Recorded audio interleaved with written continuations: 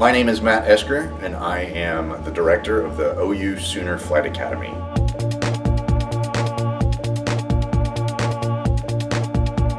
I graduated from Texas A&M University with a uh, Bachelor's of Science degree in mathematics, and uh, I love my job because I love airplanes and uh, making uh, making them exciting for kids is uh, gives me a lot of satisfaction.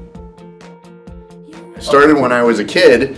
Um, uh, must have been seven or eight years old. I was uh, when I watched the on television the first launch of the space shuttle, STS-1, April of 1981, um, and that was pretty cool. But what made that extremely um, special for me was the fact that I had spent my entire life up to that point uh, with uh, Luke Skywalker and Han Solo and um, Starbuck and Apollo from Battlestar and Buck Rogers and watching um, watching these stories of people flying in space.